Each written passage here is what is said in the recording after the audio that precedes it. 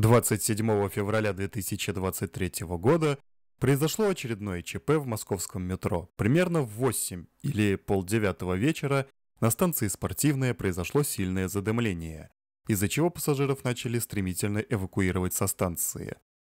От станции «Парк культуры» до станции «Университет» было остановлено движение. При этом разные источники выдавали разную информацию о том, в каком направлении движение было остановлено полностью, а в какую сторону осуществлялось с увеличенными интервалами. Причиной стало воспламенение подвагонного оборудования в промежуточном вагоне номер 0713 модели 81741.1 «Русич». Причем и тут не было единства между официальной и неофициальной подачей информации, а налажали и там, и там.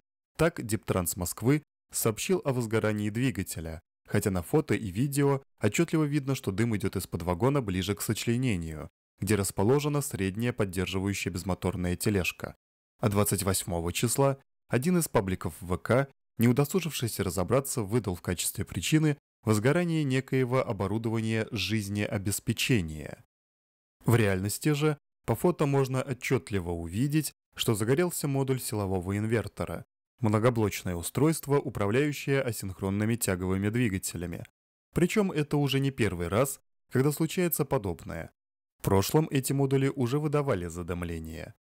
Причиной же являются трудности с обслуживанием и ремонтом вагонов этого типа, которые преследуют русичей с момента их ввода в пассажирскую эксплуатацию в декабре 2003 года. Однако в последние годы ситуация усугубилась, свидетельством чему является все увеличивающееся количество вагонов-доноров, вставших с той или иной поломкой вагонов и разобранных на запчасти для ремонта остальных. Самая большая проблема же кроется в том, что НИИП имени Тихомирова, производящий автоматизированные компьютерные системы управления верхнего уровня для вагонов метро, уже давно снял с производства и более не обслуживает систему «Витязь М1», установленную на составах «Русич».